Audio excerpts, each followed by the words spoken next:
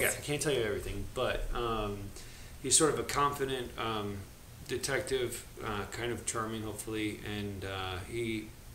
starts off. There's a gruesome sort of uh, crime that happens in the quarter, and uh, he enlists the help of uh, Leah Pipes, who plays Cami, uh, to sort of draw up a professional sort of profile on this possible killer, and then it turns into more gruesome problems, and I'm the guy. Yeah, I mean, obviously, he's, the character starts out with not knowing anything of the supernatural world, but there are uh, strange things that, that happen, and there's secrets being kept, and there's weird um, things that don't add up when he's investigating, and so he's calling people out on that, and he's sort of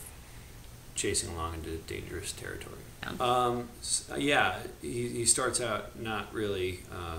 you know, outside of the human element, you know, and uh, then